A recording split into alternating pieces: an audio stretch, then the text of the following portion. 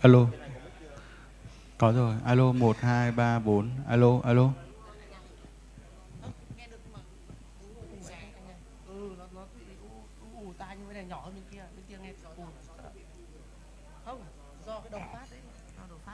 Alo.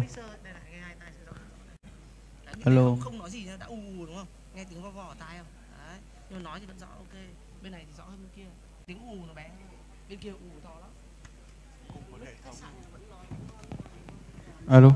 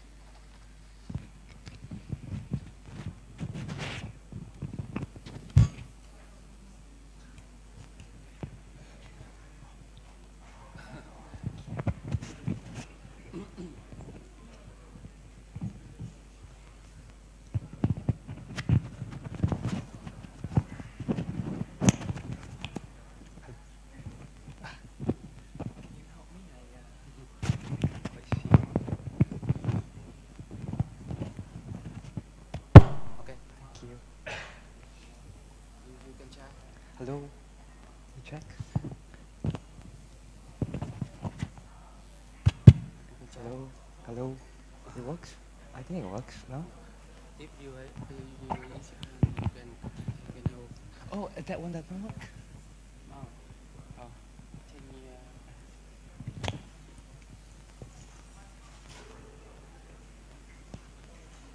Oh.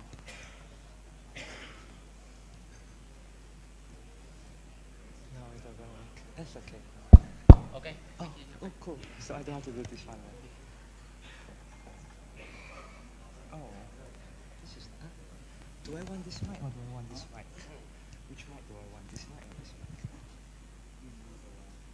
So I keep this mic. Okay.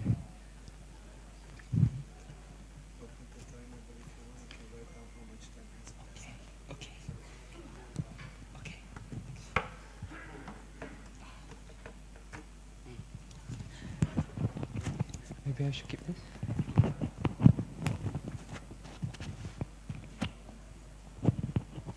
okay Ah, okay. So maybe we should switch this off or okay. Oh, then I have two. yes you'll be okay? you have two. Oh, okay.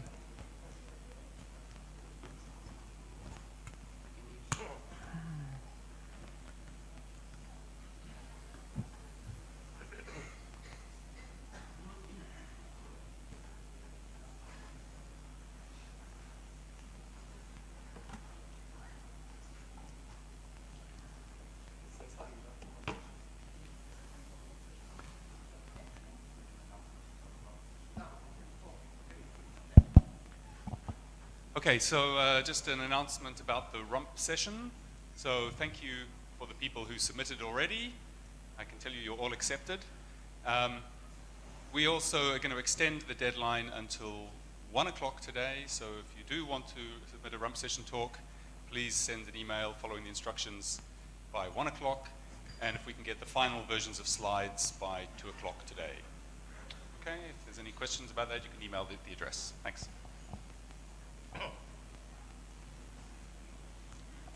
So, good morning. Uh, welcome to the second invite talk session of this conference. Uh, it is my great pleasure and honor to introduce you the invited speaker, Dr. Hoeteck Wee. Uh, Dr. Wee uh, obtained a bachelor degree from uh, MIT in 2002 and a PhD from UC Berkeley in 2007. Dr. Wei is now uh, a research scientist uh, with ENS Paris. Uh, he did um, many great works uh, in various topics, uh, including uh, public encryption, functional encryption, multi-party protocols, database security, KDM security, and other theoretical topics. Dr. Wei received many awards, uh, such as uh, Eurocrypt uh, 2016 Best Paper Award and uh, IMACC 2015 Best Paper Award, Google Faculty Research Award in 2014. Okay, the title of this talk uh, is uh, Advances in uh, Functional Encryption. So please join me to welcome Dr. Hoeteck Wee.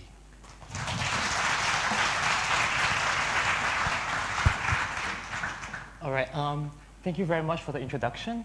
Um, I'm very grateful to the PC for inviting me here today. Um, it's truly an honor to be here, especially having grown up in uh, Singapore, just uh, I guess a couple hundred thousand kilometers down the, down the road, to be, to be back in Asia to, to give a talk. So uh, I'll be talking about advances in functional encryption, Right. So let me start uh, right away with the talk. So we now all, we all know that we now all we all know that we now live in this era of big data where we collect a lot of uh, sensitive data about individuals. We collect financial data, medical data, customer data, employee data, and because there's so much of this data, this data is also often uh, stored in the cloud outside of our control.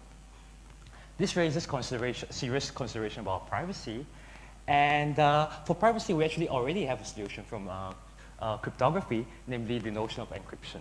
So what traditional encryption allows you to do is essentially to encrypt the data, which is uh, very much putting a lock on the data so that uh, anyone who doesn't have the key will not be able to learn anything about the data.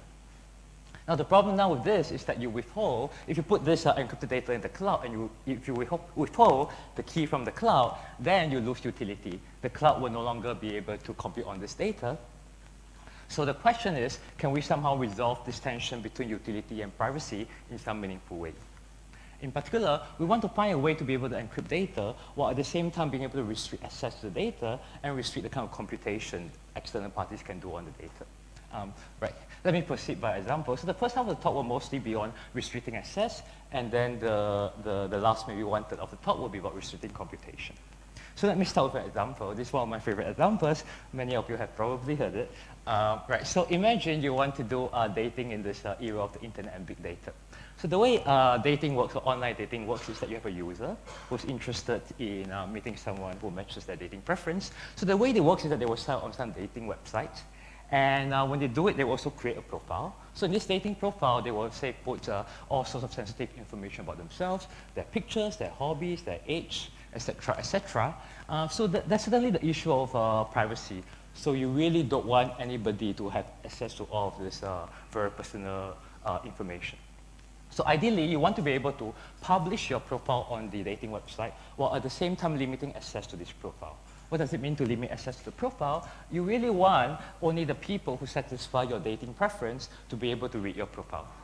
So for, so for instance, uh, something, uh, a canonical example maybe is that you only want people who are tall, dark, and handsome to be able to see your profile. Um, right, and well, amongst friends here, we know that a far better alternative is to look for people who have a PhD in computer science. Right, so, uh, so let's even dismiss with this talk dark and handsome, and for the rest of the talk, let's focus on this example of having a PhD in computer science. So this is uh, new notion, uh, the stronger notion of uh, uh, attribute-based encryption, which was put forth in the work of Sahai and Waters, which basically says that when I encrypt a piece of data, say a piece of message M, I want to be able to uh, specify a policy on this message, say PhD in computer science. The idea being that only people with PhD in computer science will be able to read this message M, and everyone else should not be able to read it. So now you have these users on the system. They are going to have some uh, qualifications or attributes. So for instance, you have individuals with a PhD in computer science, some maybe not a PhD, just a master's, and then there are people with PhD in uh, other fields. So the way uh, like the dating website works, continuing with the previous example, is that when, when users sign, uh, register on the website, they get a key from the, uh, from the dating website. So this key, especially if you look at the picture, you see that the keys look a bit different. The keys are specially customized to correspond to the kind of uh, attributes that they have. So you have a key for someone with a PhD in computer science, uh, and then a key for masters in computer science, and so on and so forth. And the basic correctness requirement is that if somebody uh, satisfies the policy that's on the message, then they should be able to decrypt the message and uh, you know, find what the message M is, and in this case, find true love on the internet. And uh, otherwise, for anyone else who doesn't satisfy this access policy, uh, with the key that they have, they should learn nothing about the message. So if they put the key together with the ciphertext, they should see nothing. Uh, moreover, we actually want a stronger notion of security, which we want to protect against collusions. So we don't want uh, a bunch of, uh, uh, I guess, unemployed people maybe, know, sitting uh, after drinks on Friday night, sort of looking at their keys together, and suddenly by mixing and matching their keys in some way, they can uh, decrypt profiles that they would otherwise individually not, individually not be able to decrypt. So this is a, a very useful and uh, strong security requirement, and this is partly what makes attribute-based encryption so difficult to build. All right, so uh, let's try to build such an attribute with encryption scheme that supports this policy. Um, let's do a, uh, a small warm-up. So here's what the scheme is going to look like. The way I describe it is actually going to be a, a symmetric key encryption scheme, more of a warm-up, but you can turn it into a public key encryption scheme. So uh, the, uh, let me tell you what the keys look like. So uh, we were, in the system, we're going to create all these uh, random strings. There'll be a random string for computer science, random string for PhD, random string for masters, and a random string for biology. And uh, when the user uh, uh, signs on to the uh, website, they're going to get the strings correspond to all the attributes that they have. So the uh, one with the PhD in computer science will get uh, the random string for PhD and the random string for computer science and so on and so forth. So how, how would encryption work? Um, right. basically, the encryption works by basically taking the, if you want, let's say, only people PhD in computer science to be able to decrypt your message, then you take your message, you uh, one-time paired it with the, um, with, the, uh, with the random string for computer science, and then one-time paired it with the random string for PhD. Right? So again, this is actually a symmetric key encryption scheme. So let's check that this scheme satisfies correctness. Indeed, uh, if you have the, you know, someone with PhD in computer science can easily undo the one-time pad and recover the message M. And uh, for each of these two other individuals in the system, they're going to miss one of these uh, uh, random strings, and basically security follows from security of the one-time pad. Now let's see what happens when there's a collusion. So let's see these two people come together. Now what happens? Well, it's not hard to see that basically now suddenly they will be able to decrypt the message, even though each of them individually cannot decrypt the message. In particular, uh, the, the reason for this is a, is, a, is a class of what we call and attacks, which sort of uh, makes, is exactly what makes collusion so hard to deal with uh, what, what this mix and match attack does is that you can, it turns out you can actually take uh, two, two keys that are not authorized to decrypt the message, somehow mix them in some way and combine them in a different way to create some other matching key that can actually decrypt the message. So in this case, the attacker is essentially taking the, the, the first half of the key for computer science from the one of the masters, and then the, the part of the key corresponding to PhD, combining these two together, mix and match them, and creating a key for a, a different set of uh, attributes that can actually qualified to decrypt the message.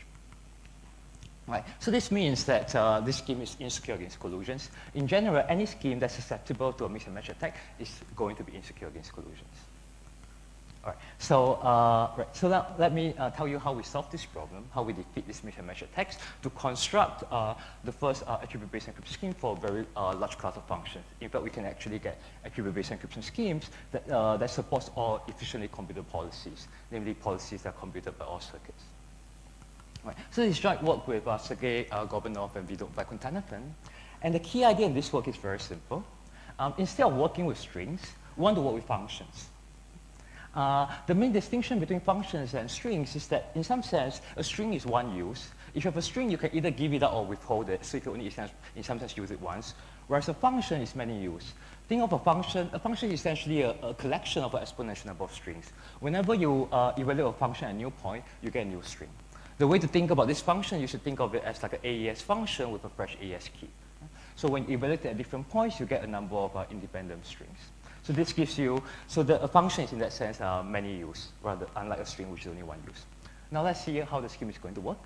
Uh, it's going to be, uh, right, so basically, like I said, we're going to replace the string with functions. So instead of having a string for computer science, a string for PhD, a string for biology, and so on and so forth, we're going to have a function corresponding to uh, computer science, a function corresponding to PhD. The way to think about having a function, you should think of it as having a key for a function. So now, how is the uh, key for each of these individuals going to work? Um, right, so whenever you create a key for the generate key for the individual, you're going to take this function and evaluate it at some random point, uh, where the random point is chosen at random every time you generate a new key. So the first, uh, the first uh, individual on the right will get uh, two, two, uh, both of these functions evaluated at the same random point s. The next one will get both of these functions evaluated at some new random point t, and the, the third one will get them evaluated at some random point u. Right. Uh, unfortunately, uh, encryption is going to be a little bit more delicate. It won't be exactly like a one-time pad from before, but you just have to trust me that you can design the ciphertext in a, in a special way so that you still have correctness. The reason why correctness is a bit harder here is that we want correctness to hold as long as uh, the individual on the right gets the function evaluated at the same point. So if they are both evaluated at the same point s, you can decrypt. If they're evaluated at the same point s prime, you can also decrypt. And when you're doing your encryption, you actually don't know what this uh, point S and S prime is going to be. So you have to work a lot harder to get correctness that works for all S and S prime. Okay? But trust me, this can be done. All right, so, right, so turns out uh, this construction, you can see, in some sense, is no longer susceptible to the mismatch attack that we saw from before. Particularly if you try to do what we did earlier, namely take the first half of the key from uh, the second individual and the second half of the key from the third individual, you will see that you actually have functions evaluated at two different points. And we can show, we will design the scheme in such a way that if you have uh, the function evaluated at different points, and it's actually independent, uh, different independent points, then they're going to be in some sense useless. Right, so uh, this sort of shows that mix and match attacks doesn't work anymore. But mix and match attacks are only an example of one class of collusion attacks. There could potentially be other attacks. So what we formally show is that we have a proof of security showing that this scheme is indeed secure against collusions. Uh, moreover, the nice thing about the scheme, the way I describe it, uh, is sort of, uh, I describe it for a single AND gate. Uh, what's very nice is that the way this scheme works is that you can, it actually composes well. So uh, think of uh, from your uh, computer science 101 class, you know that you can take any circuit and represent it as a bunch of gates. And uh, right, so what, you have, what will happen is that if you want to uh, generate this scheme to any arbitrary circuit, you will basically look at the circuit represented as a bunch of gates. And for each of the wires in the circuit, you're going to pick a new random function. And then and we will construct this function in a way that they glue well together and they can go from uh, one gate to the other and connect everything together.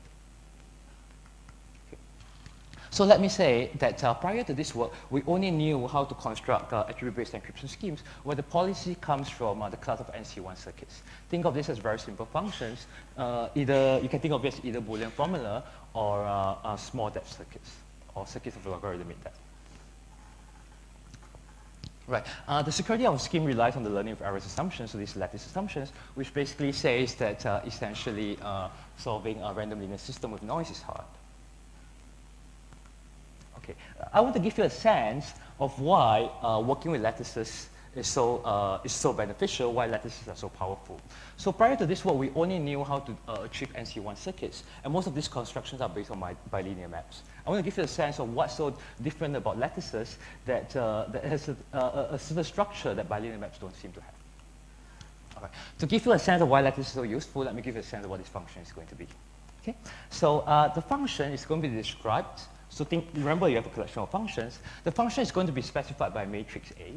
Okay, think of this as a uh, wide and uh, short matrix. The input of to a function is going to be a vector. Think of all this as sort of uh, matrices and vectors with entries over ZQ for some uh, small number Q. Yeah? Uh, right, so uh, the output of the function on input A, uh, sorry, uh, the output of the function A on input P is a vector U such that A times U equals to P. Okay? Um, turns out we actually want these functions to be hard to compute, otherwise the, uh, the adversary can forge keys. And in general, uh, you given A and P to find U such that A equals to P is going to be easy via Gaussian elimination. So the way we make it hard is to require that you need to find a U with small entries. In fact, the function is going to be a randomized function, and it's going to pick a random, it's going to output a random U such that A times U equals to P. So this is sort of the function that we're going to work with. This function has already been considered before in the literature. Uh, the main twist that we made in this work is uh, to look at this function and realize that uh, one thing you can do is that this function uh, extends. You can think of the input, instead of being a single vector p, you can think of the input as being a matrix. So you can stretch this vector p to form a matrix p, to stretch this vector for p to form a matrix p. And uh, the, the output of the function is going to be now, instead of being a single vector, it's going to be a matrix U. So what you want is a matrix U, with, again with small entries such that A times U equals to P. So what did we gain by stretching this uh, vector P to form a matrix U? Uh, the thing, uh, what we gain here is that A and P now have the same dimensions. And they're essentially the same object. They're going to be matrices of the same dimensions over some un underlying uh, modulus. Right? So now you can actually treat this uh, uh, matrix P as a new matrix that describes a new function. So instead of calling this uh, uh, matrix P, I'm going to call it A2. And now I can consider a new function, A2, uh, that takes as inputs uh, A3 and outputs some U prime, such that A2 times U prime equals to A3. Okay? Now A2 and A3 again has the same dimensions, you can go on and on and on. And this sort of, the, the, the, fact that you can sort of move this matrix on the right to a matrix on the left is essentially what allows us to glue all these uh, functions together. In particular, this is a structure that we don't have in bilinear groups. Roughly speaking, what happens is that once you do a single computation, you're going to end up in different groups. And you will end up, you will have to use your pairing, and once you use your pairing, you won't be able to continue the computation. Right, okay. So this is sort of give you a sense of uh, what our uh, basic uh, attribute encryption scheme look like. Now I want to go back to our earlier uh, example that I gave and revisit this, uh, this example. So we say that using attribute-based encryption, we can protect the privacy of our profile. Uh, but the problem here is that, in fact, uh, the way attribute-based encryption scheme works is that they actually don't pro uh, uh, provide any privacy for the policy. In particular, your dating preference is always going to be public. And there are many, many uh, settings where uh, actually your dating preference could actually already by itself reveal a lot of sensitive and personal information about yourself the, fact that, uh, you know, that you may be gay or that uh, you like kosher food or celebrate uh, Rosh Hashanah, all this could say something about uh, your background. So ideally, we really want a system that can provide uh, privacy for your dating preference as well. In particular, we want a stronger notion, uh, and this is going to be an object that we call predicate encryption, that guarantees that for a collection of users who are not able to access your profile, this set of users will also not be able to learn anything about your dating preference, other than that, of course, they don't satisfy your dating preference. So this is a stronger notion of security that we want to aim for. And uh, in the work, again, with my co-authors, uh, Sergey and Vinod, we show that you can realize this uh, stronger security notion, namely the predicate encryption, again for the class of all circuits, and again from the same assumption as before. So from standard assumption about hardness of problems in lattices. I want to give you a sense of how this construction goes. Right, so, uh, right, so we have a profile, and we have some access policy C, and our goal is to hide this policy C. Okay? All right, so uh, the first idea is, well, note that we, we want to hide this policy C, but at the same time, in some cases, we need to know the policy C. To, uh, the we need to know some information about the policy C because we need to be able to check whether we satisfy the policy. So we still need to be able to compute on this policy. So if we want to hide something while being able to compute on it, what can we do? Well, the first natural idea is to use a fully homomorphic encryption scheme. In fact, this idea already came up in a couple of prior works on uh, related topics. And uh, so what we want to do is we will encrypt the, uh, the policy, the circuit C that we want to hide with, let's say, a uh, symmetric key FHE scheme. So there's some uh, key K that we encrypt. And then uh, this, is, this is what you do during encryption. And in addition, you will in some sense have to provide the key K. Otherwise, the other party will learn nothing whatsoever about the circuit C. Okay? So what do we gain from doing this layer of FHE encryption? Uh, what we gain is that um, while we have this key K and the FHE ciphertext, um, the FHE ciphertext we no longer have to protect because it's protected by the uh, security of the FHE scheme. So instead of having now to protect an arbitrary circuit C, we only need to protect a key K. Okay? So did we really gain anything? We still have to protect something. And uh, turns out we do because uh, uh, when we want to protect a circuit C, well, actually, uh, we have to be ready to protect any arbitrary computation corresponding to circuit C. Whereas uh, when we come to protecting the key k, turns out we only, need, we only use the key k to do a very specific computation, namely to do FHE decryption. So now, instead of having to protect arbitrary computation, we only need to protect a very specific computation. And turned out that the existing FHE schemes, the computation that's done on the secret key k is an extremely simple function.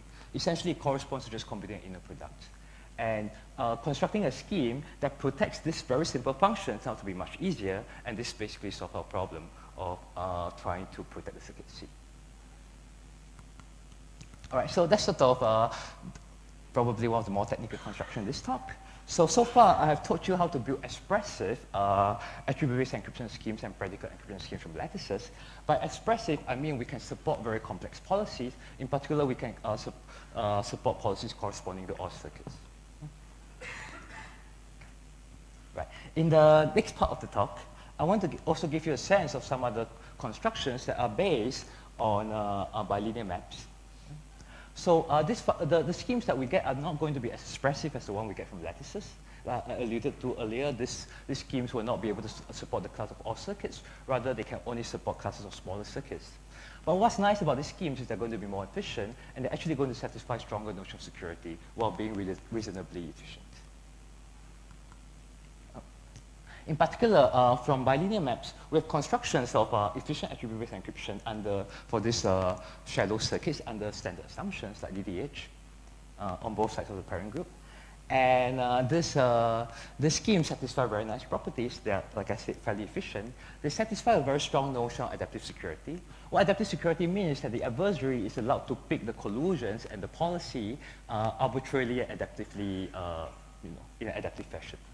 Um, however, there's a price that we pay uh, to this uh, efficiency and, and uh, strong adaptive security, namely that uh, these schemes often come with extremely complex security proofs. And that is the reason why this proof has to be so complex, because uh, attribute-based encryption schemes are a very complex object, and they provide very strong security guarantees. In particular, they are public key primitive. Uh, they provide a strong notion of many-time security, where many-time corresponds to the fact that adversary can get many secret keys. Um, Right, so many secret keys correspond many times. And um, in this particular case, like I said, they satisfy a strong notion of uh, adaptive security. So uh, for the next couple of minutes, I want to tell you a series of uh, uh results uh, uh, that shows, essentially shows how to sort of get this very powerful attribute-based encryption scheme and very efficient ones without paying the price of this complex security proof. Uh, in particular, uh, what, this, uh, what this series of work showed is that instead of worrying about this extremely complex attribute-based encryption scheme, let's start by focusing on a very simple object. Uh, think of this as a, this is going to be an object that's in fact going to be information theoretic. It's basically going to be, this object is going to be very much like an attribute-based encryption scheme, except uh, all of the, uh, the difficulties are toned down. So instead of being a public key primitive, this is going to be a private key primitive, so the adversary doesn't get to see some public key. Instead of requiring many-time security, this primitive only needs to satisfy one-time security. And instead of requiring adaptive security, this primitive only needs to uh, satisfy non-adaptive security. Okay? So what this series of works show is that they provide a compiler that goes from this uh, much uh, simpler primitive that's much easier to construct and produce the attribute encryption scheme. So this comes at a price, of course. It, uh, it requires, it assumes some computation assumption, namely only works with uh, bilinear groups, and, but understand the assumption in bilinear groups. So, uh, right, in particular, what, what uh, the, the outcome of this of works is that you get simpler proofs, you get unified proof of security, and you get improvements from prior works in terms of uh, concrete efficiency. So I'm not going to be, I'm not going to have the time to really describe how this uh, the, the, this entire result. Uh, still, I want to give you a sense of how this compiler works. Uh, and I'm going to focus on uh, compiling, sort of focusing on property one. Namely, I want to give you a compiler that goes from a private key primitive to a public key primitive. Okay? Right. So, uh, right. So, uh, right. So think of your favorite. So I'm going to be a bit vague about what this uh, private key primitive is going to be. Uh, you can think of it as uh, a MAC or a uh, or a uh, symmetric key a private key encryption scheme. Okay. So what the compiler do is it's going to start with a scheme that's a private key scheme, and it's going to produce a public key scheme. Uh, and security of the public key scheme will essentially come from security of the private key scheme. Okay? So we start with a private key scheme, and think of this private key scheme uh, generating some private key. So the, think of the private key as just a collection of scalars in ZQ. Okay? So what will this new scheme look like? I'm going to tell you what the public key is going to look like, and give you a sense of how you can relate the, uh, the uh, security of this public key scheme to the security of the private key scheme. In the new scheme, uh, I'm going to tell you how to sample the public key, and the sampling algorithm works as follows. Instead of sampling a bunch of scalars, I'm going to sample a bunch of vectors. The, the dimension of the vectors, roughly speaking, uh, depends on the assumptions you're going to work with. So, but the height of these vectors are essentially going to be constant if you're working with DDH. Okay? So what is the public key going to look like? Uh, in the public key, the public key will contain a matrix A. Think of the matrix A as specifying your, uh, your underlying uh, assumption. So this A may be specified to DDH assumption. In general, it's specified to subgroup assumption that you want to work with. So the public key is going to contain A together with A times Wi for each of these uh, vectors W. And uh, in fact, the, the, the new scheme is going to work under the DDH assumption. So all of these values that you publish will in fact be in the exponents of some cyclic group set. All right? So the main observation is, the first observation we want to see is that this vector Wi actually has entropy given the public key. And that's because A times Wi is compressing. The length of uh, the vector A times Wi is shorter than the vector Wi, so you can imagine that Wi still has entropy. And this entropy is what we're going to use in our security reduction. Uh, right. So in fact, uh, right, so formally, what is this entropy? Uh, if you pick a random vector C, with high probability, this random vector C is not going to lie in the span of A. And this will mean, then it's easy to see that given A times Wi, C times Wi is uniformly random. And this will be your, uh, your hidden entropy. Okay? So your security reduction, what you're going to do is uh, your security reduction needs to rely on the security of the underlying private key primitive. So it's going to need to create a key for the underlying private key primitive. And the key for this underlying primitive is going to be this hidden entropy. So you're going to create a private key scheme where the secret key, uh, the scalar Wi, is going to be the vector C times the vector Wi. Right. More generally, uh, this, uh, the way I describe this uh, uh, compiler works well for certain applications that sort of uh, maybe sort of like a warm-up, maybe if you don't need the full-fledged power of bilinear maps. But in bilinear, bilinear, uh, bilinear map schemes, the compiler is going to be more complicated because, uh, roughly speaking, it's because you need to reveal something about this, this Wi on both sides of the pairing group. So then, in this case, instead of picking a vector, we're going to pick a matrix, all right, uh, a square matrix, say, and uh, and then in the public key, we're going to uh, uh, uh, publish A and AWI. In addition, we're going to pick some other matrix B, which corresponds to the subgroup assumption on the other side of the pairing. We will publish this matrix B, and in addition, publish WI times B. Okay. Uh, again, as before, we'll be able to show that WI again still has entropy given the public key. Now, in this setting, the proof is going to be a bit more delicate because the output of the function is no longer compressing. Um, but basically, a variant of the proof uh, from before works. The key observation here is that if you pick a random vector C and a random vector D, okay, uh, then with high probability C is going to lie outside the row span of A, and D is going to lie outside the column span of B. And you can then show that given A times Wi and B times Wi, C times Wi times D is going to be uniformly random. And then this will be the uh, hidden entropy that you use uh, to create the key for the uh, original private key scheme in your security reduction. Right, so I have sort of outlined this uh, compiler Uh, this was, uh, roughly speaking, this is the compiler that was used to, to simplify the construction of attribute-based encryption schemes. And this compiler turned out to have, and the more general concept of compiling a private key primitive to a public key primitive has a bunch of other applications. Uh. So in a, in a series of works, uh, we showed that uh, using this sort of a compiler technique, you can turn a pseudo-random function into identity-based encryption scheme if the uh, pseudo-random function has a very good algebraic structure. Uh, in particular, if we now start with, say, a tightly secure PRF, we end up with a tightly secure uh, encryption scheme. And that's how we construct the first tightly secure IB understand assumptions. All right, I want to say that you will see uh, another of these results later at, at, this conference on Wednesday. And uh, also using the techniques that were developed in this series of works, uh, we also showed that you can use these techniques to uh, solve a problem that's not related to, uh, to uh, attribute-based encryption, identity-based encryption. Namely, using techniques uh, earlier this year, we were, we were able to construct the first CCA secure encryption scheme with a tight security reduction, and that doesn't rely on pairings. Right. So uh, this compiler can also be applied to other primitives. For instance, you start with a uh, uh, you can, for instance, use it to get non-interactive zero-knowledge protocols. You can compile a symmetric key, a private designated verifier uh, non-interactive zero-knowledge protocol to a publicly verifiable uh, non-interactive zero-knowledge protocol.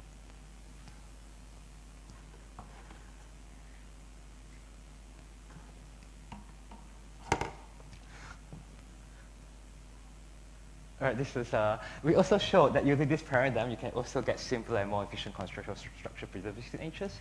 So here, you can basically uh, start by just constructing a, a structure preserving MAC, and our compiler will turn this MAC into a signature scheme.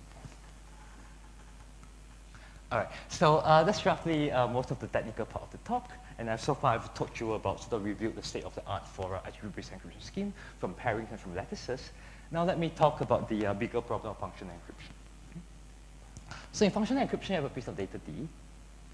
Again, as before, you have keys corresponding to functions. So uh, for function f1, you have a key for f1, and function f2, you have a key for f2. And uh, the basic correctness requirement is that if you have a key for f, and you decrypt an encryption of D, you're going to compute f1 of D. You have a key for f2, you compute f2 of D, and so on and so forth. Right. Uh, uh, similarly, like before, we have a strong uh, collusion requirement namely that uh, if you have the key for F2 and F3, you should learn uh, nothing more than the union of what each of the uh, individual keys tell you. Okay, so you should learn nothing more than F2 of D and F3 of D. So the big holy grail in the study of functional encryption is whether you can construct functional encryption schemes for all functions. But all functions, I mean all circuits. The way we now have uh, attribute-based encryption scheme for all circuits and predicate encryption scheme for all, uh, for all circuits. So, uh, right, so I want to quickly review the state of the art. So, right, so not surprisingly, we, we have a affirmative, affirmative answer to this question if we are uh, willing to use uh, multilinear maps or obfuscation. Uh, right. But unfortunately, uh, the status of multilinear maps and obfuscation are a little bit unclear. Uh, we don't really have uh, very strong candidates. So we really want to focus on construction that are based on our standard hardness assumptions for which we have a better understanding. Uh, and uh, for results of this kind, uh, much less is known. For instance, we know we do have functional encryption for uh, understand assumptions, but only for extremely simple functions, essentially functions that are related to computing and inner products. Okay? And here we have construction based on uh, both uh, bilinear groups and lattices. Um, if we're willing to relax the security guarantee to bound the collusions, what this means is that um, instead of the adversary being allowed to get a, uh, excuse me, unbounded number of secret keys, uh, we, we, we have a system, we, uh, the, the, the, the uh, uh, we, we consider A priori bound on the number of uh, secret keys that the adversary can get. Then we can have a, then we can construct a scheme that, that is secure as long as you, the adversary doesn't get more keys than what this bound is. The catch here is that uh, the, uh, the complexity of the scheme, the size of the public key, the size of the ciphertext, and so on and so forth, are going to grow with the size of this bound. Right. And for this, uh, for this uh, right, but in this bounded collusion setting, we can indicate functional encryption for all functions. We can get it essentially under very standard assumption. Uh, public key encryption plus, uh, you know, slightly more structured public key encryption type assumption. So basically, you can get it from hardness of factoring, DDH, LWE, and so on and so forth. Now, if we want to really um, focus on the setting of unbounded collusions and sort of go beyond a very simple function, then basically the state of the art under standard assumptions is the uh, result that I told you about earlier, which is the predicate encryption for circuits. So you can think of predicate encryption of circuits, the way I describe it has to do with a message, but you can also think of it in the, as a, as a, uh, a weak kind of functional encryption, a one-sided notion of functional encryption. What this means, roughly speaking, is that think about, for instance, functional encryption where your functions are Boolean, so you only output one bit. Uh, a predicate encryption scheme uh, for this uh, Boolean function basically is one that says that uh, if you only if you only get keys that uh, for which a function evaluates to false, you learn nothing about the data D. But uh, if you get keys for which the function evaluates to true, you may, we no longer provide any guarantee for the, uh, for the privacy of the data D. Okay, so you get this one-sided notion. You only get security of the data D if the function evaluates to false. And no security requirement, no security guarantee whatsoever when the function evaluates to true. Right, all right, so uh, let me now uh, conclude some open problems. So I want to highlight there are many, many open problems in the study of uh, functional encryption, attribute-based encryption, predicate encryption. I want to focus on uh, two particular problems that came up in the context of this talk. The first, of course, is to try to get functional encryption from standard assumptions. And uh, here the most promising is, of course, lattices, because even for predicate and attribute-based encryption, we only know how to get construction from lattices. Yeah. Uh, the main obstacle uh, here is that uh, we, we don't have a very good understanding. So to construct functional encryption schemes, we need to construct, we need to have techniques to satisfy a very strong security notion, namely what's called predicate uh, strong attribute hiding. So in the language of predicate encryption, where I talked about uh, encrypting uh, messages to a policy, you need to provide some very strong privacy guarantee for this policy. And in this case, we still don't have a very good understanding of strong attribute hiding. Um, there are basically only a very small uh, number of papers that achieve full uh, strong attribute hiding, and most of these papers are uh, written by a very small group of people. So even in the, uh, so we, we know techniques for strong attribute hiding in the uh, pairing-based setting, and we basically don't have any techniques for strong attribute hiding for uh, in the lattice setting.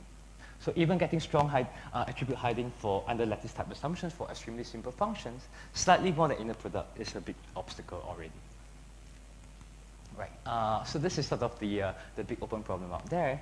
Uh, at the other extreme of things, if we think about uh, sort of uh, construction based on bilinear groups, uh, one of my favorite questions is whether you can get IBE schemes that are extremely compact. Right? So what I call petits IBE. Um, right, so we want IBE, so now, right now, basically the standard of, state of the art for IBE schemes under standard assumptions that are fully secure basically says that you basically need four elements in the ciphertext and four elements in the secret key. Um, the question is whether we can do better.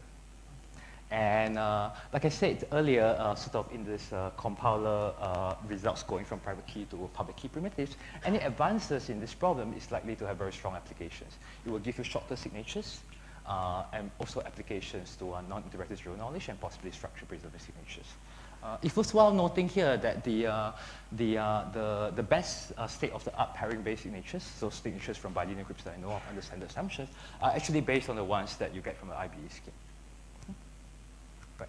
So, uh, so there are many other open problems, and I'm happy to talk about, uh, tell you more about it offline. I also want to take this opportunity to share some of my thoughts on, on the study of, on the study of functional encryption and attribute-based encryption. Because this is uh, sort of uh, slightly more personal and uh, maybe slightly more controversial, and I'm very happy to talk more. Right. Um, the first is that uh, I want to encourage everyone working on this uh, topic to always think very critically about the theoretical and practical uh, context of your work. On my work, right. case study, adaptive security. So as I said earlier, we have a very efficient adaptively secure schemes from bilinear maps. Uh, and the adaptive security is extremely well motivated in practice, actually. It, carry, it, it, captures the class of very realistic attacks. In the real world, you really expect that your adversary can make adaptive choices rather than uh, having to make some non-adaptive choices. Right. And so it's uh, well motivated in practice. And in fact, it was also partly the study of looking for techniques, theoretical techniques to handle adaptive security that, uh, that motivated the work on uh, dual system encryption, which is this very powerful proof methodology that uh, sort of underlying these compilers from private key primitives to public key primitives. So in some sense, the study of uh, adaptive security, which is motivated by practice, has had very rich uh, implications for theory. So taking this forward, what should we do next? Um, so let's say we go to a practitioner and uh, the practitioner asks us to recommend a scheme that they can use. Naturally, we want to sort of recommend a scheme that's adaptively secure. Uh, the question then is, do we really want to, do we, should we be recommending the state-of-the-art adaptively secure scheme? Uh, right, which are, like I said, fairly efficient, but sort of uh, efficient in a slightly theoretical sense. In particular, it turns out that if you're willing to, in particular, uh, if you're willing to settle for non-adaptive security, you can usually get uh, slightly better efficiency. Uh, the uh, better is constant factors, but these constant factors do matter a lot in practice. So what this roughly means is that uh, you're going to go to a practitioner, you're going to ask, do, I want, do you want to pay a factor 2 for this uh, adaptive security uh, that is provable under some set of assumptions? And as it turns out, most of these non-adaptively secure schemes are actually not so bad. They are more efficient, and they are actually typically also already adaptively secure in the generic group model. So if you ask the practitioner, then you will say, well, they'll come back to you and say, I really want to use the more efficient scheme because I care about this factor of two. And uh, is there really anything wrong with uh, using a scheme that's only proven secure in the generic group model? Do you expect to have any attacks? And the truth is, uh, it's probably quite unlikely to have an attack.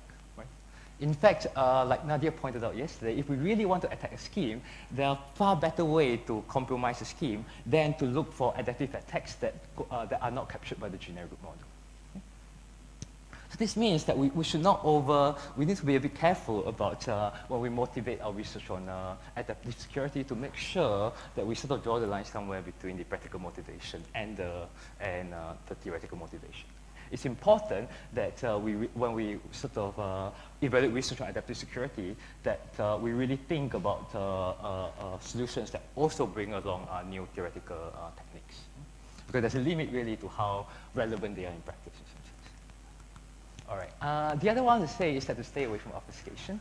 Uh, by this I mean that, uh, right, so the, the, uh, the, uh, right now the, uh, the literature on attribute-based and predicate encryption and function encryption has become extremely rich. We have very powerful proof techniques, and a price we have to pay with powerful proof techniques is that the proof has become very complex. Uh, in spite of this complexity, I urge everyone when working on this topic to make sure to try to uh, make your proof as simple as possible, to constantly revise your proof to simplify them and try to write them as well as possible. Right? Even though the community may incentivize the use of uh, obfuscation, no pun intended, we should still stay away from using obfuscation. Right. Uh, finally, I hope we bring this message uh, to all of our co-authors and the students we work with. Um, Right. Uh, the trouble of working with students, not, not the, the trouble working with students. Uh, when you work with students, one thing you have to deal with when you try to tell them to rewrite the proof over and over again, they're going to tell you, um, I don't really want to do this. You know, there are plenty, look at all these other badly written papers out there. They still get accepted. Why do I want to go through the trouble of rewriting my paper over and over again? Right? At this point, you, you, you tell them um, what Michelle said which is that, uh, you know, when they go low, we go high.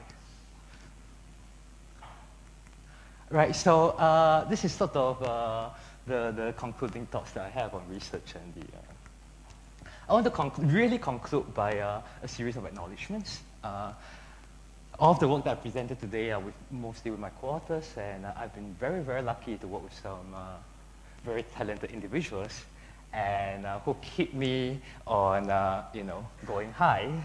And uh, I want to take this time to sort of acknowledge uh, some of my co-authors who has, right, not, who has really shown me, uh, not just uh, shared with me the, the, technical knowledge, but also the kind of passion that they have for research. Uh, Jie Chen is one of my first PhD students, not officially, I co-advise him, unofficially. and he showed me, he showed me that sleeping is only necessary as a step towards uh, doing more research. You only sleep so that you can do more research. So he was going to go to sleep, and then he want, all he wanted to do is to be able to get ready to do more research after that. In fact, this is an email sent just before midnight, and at 4 a.m. he said, well, I have a new idea. So I guess it works. Um, I've also been working with Eike. Eike took this step further. Um, not only is sleep sort of uh, only necessary for research, uh, you know, uh, Eike showed that, you know, there is something a little bit more than that. So working on a paper for the Eurocrypt deadline, a couple of weeks before the deadline, he told me, you know, uh, I'm expecting a new baby. So at some point, like one week before the deadline, expect me to disappear, and uh, you'll have to uh, work on this paper. And the paper turned out like, like about a week before the deadline, was actually already in pretty good shape. And uh, you know, I kept sending him email, he kept replying, so I was a bit worried. I wasn't sure when the paper, when the baby is going to arrive. And then at some point, something like three days before the deadline, he wrote an email saying the baby is here. So like, okay, great. Uh, uh, the, the paper is in very good shape. I just have to make a couple more tweaks and then we're ready to go. Uh, only to discover that something like 12 hours later, he said, I'm going over the paper now. So now we have people picking research over sleep, people picking research over babies. Um, the one to sort of really uh, steal the show is my long-term collaborator, Vinod Vaikuntanathan. Um, right, so uh, earlier this year, we were all at PKC in Taiwan. And uh, while he was there, he uh, went to a hot pot for the first time. So hot pot, if you don't know, you can get it in, uh, in, uh, in Vietnam, by the way. it's also known as shabu shabu in the Japanese context. For those who know what uh, fondue is, think of it as a fondue for Asians with meat. Mm -hmm. So he went to this hot pot place. At 11.30, I got email from him saying, uh, am I supposed to cook everything here? So by the way, of course, you're supposed to cook everything. And then a couple of hours later, I got email from him saying he wants to continue meeting to do research.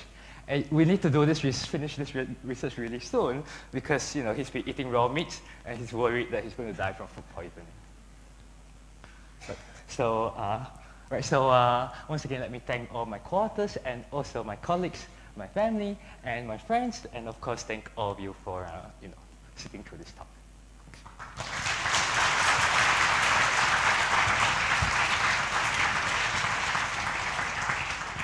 Uh, time for question and comments. Do you have any question or comments?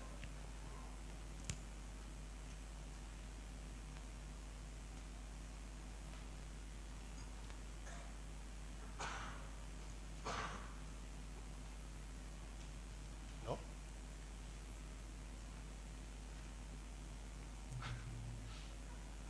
Okay.